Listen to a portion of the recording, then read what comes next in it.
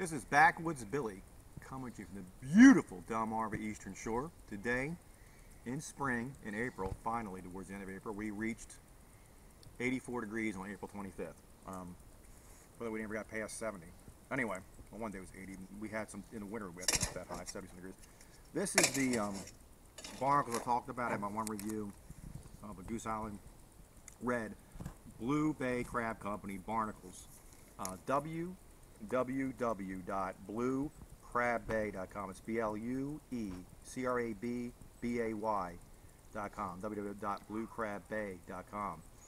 Um, there are several different ones. This is a spicy snack mix with Chesapeake Bay uh, seasoning, which is like Old Bay seasoning, crab seasoning, basically on the nuts. And um, there's um, all kind of things in here. You have the pretzels. Uh, well, most of the things are gone. Little crackers, look a foot. Oh, here's one. There's these nuts, uh, sesame sticks, little rye crisps, and assorted nuts. Very, very tasty.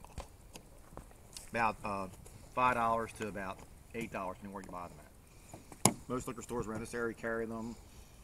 Most gourmet stores have them, and um, the tourist area has them. Delaware, Virginia as well. So anyway, very, very good. Today we're here to talk about Samuel Adams Rebel Rouser Double IPA, 8.4% alcohol by volume, and 85 IBUs. Woo wee!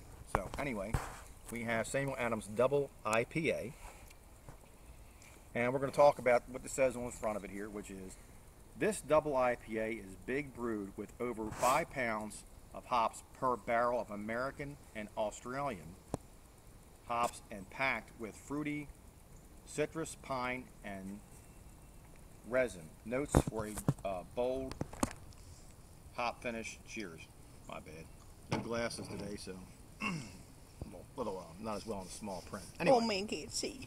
I can see a mile away. Can't see shit close up. Anyway, little small print. Fucked up for me. Anyway, um. Anyway, that aside, we're gonna do this one. This is Samuel Adams Double IP. Those that like double IPAs, this may be up your alley. Good thing, Samuel Adams is one of the original craft uh, beers. Uh, Boston Beer Company. Samuel Adams. Nice pop top cap. Again, it's got their logo on it. Very good branding. Second of all, you can make crafts with this. We talked about magnets. Put them around the fire pit. You can make uh, buttons. Ah, Christmas wreath.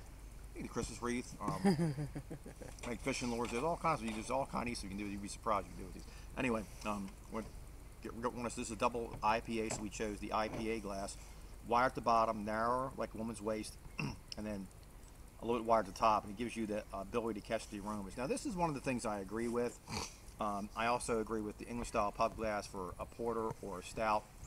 Um, German style, if you like to use a Stein with it, fine, or uh, a traditional mug, that's fine. And for me, when we eat crabs, I generally use a mug because the crab seasoning and stuff like that, seafood, it's easier to deal with. But, Less likely to drop your glass. yeah. Also, you don't get mess everywhere. It's not slippery. And here we go. You can see three finger head very easily.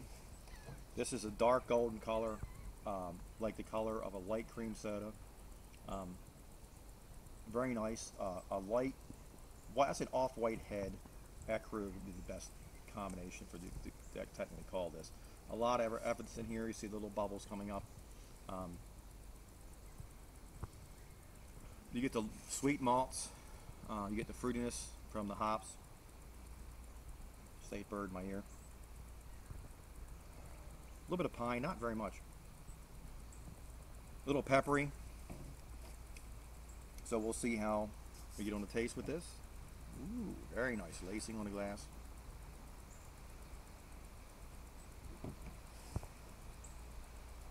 Very creamy texture. Um, medium heavy mouthfeel to this. Uh, I would have to give this a Backwoods Billy two thumbs up. And um,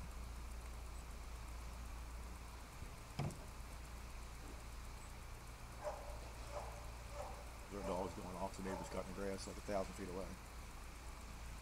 Huh, text from the tree. Lovely. Um,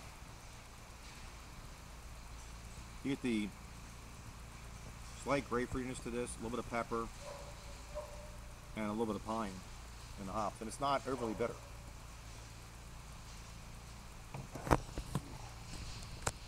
Very well balanced. Get, a little peppery, uh, peppers and the hops. A little bug right there. Um, a little grapefruit, a little pine. Very well balanced. One doesn't outdo the other one.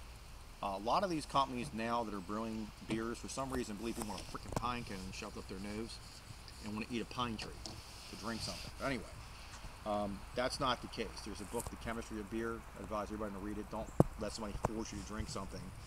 This is the end thing. If you like it, then drink it. If somebody else isn't drinking it, it's you that's drinking it. So, um, this is a double IPA. In my opinion, it hits every note a double IPA should hit.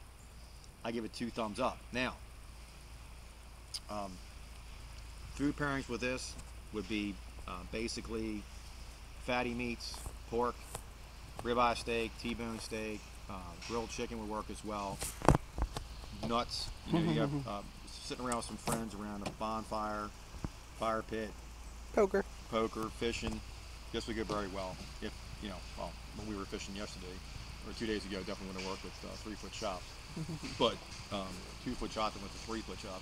Um, anyway, it's- it's very very good. In my opinion, it's two thumbs up. Hits every note that it should hit for the category. And Backwoods Billy, two thumbs up.